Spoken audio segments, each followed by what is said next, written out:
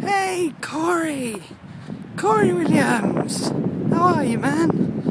I wanted to do a video response to you today because, admittedly, I haven't watched your new video, which only went up a couple of hours ago, but I watched the Dude Like Hella vlog that you probably uploaded yesterday, and you said to get out and see some of your area. Well, I live on the south coast of England, and you, Mr. Williams, you and Shay Carl are my inspirations. I have lost since VidCon last year just over 50 pounds. It's not much, I've still got a way to go. I want to lose another 20 or so, maybe 30 by VidCon this year.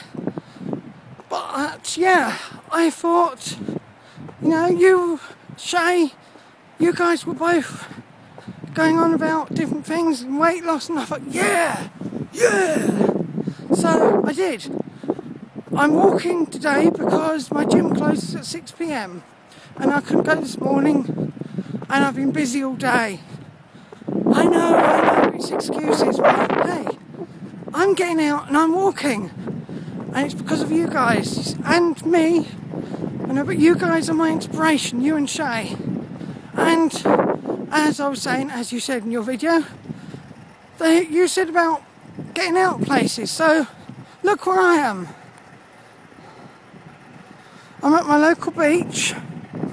It's a bit late, 10 to 7 in the evening, but I've been out all day. And I thought, if I really get some walking, it's about two miles, mile each way from where I live down to the beach and along the beach.